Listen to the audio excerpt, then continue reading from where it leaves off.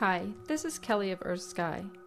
The last quarter moon will be near Jupiter on the mornings of August 7th and 8th, 2023. The pair will lie in the constellation of Aries the Ram. At their closest on August 8th, the moon and Jupiter will be only 2 degrees apart. That's about 4 full moon widths.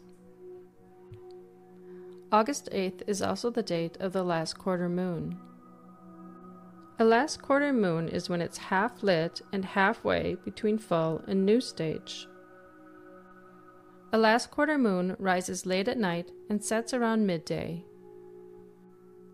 So, on August 8th, if you can follow the moon from dawn until after sunrise, you may also be able to spot Jupiter in the daytime sky.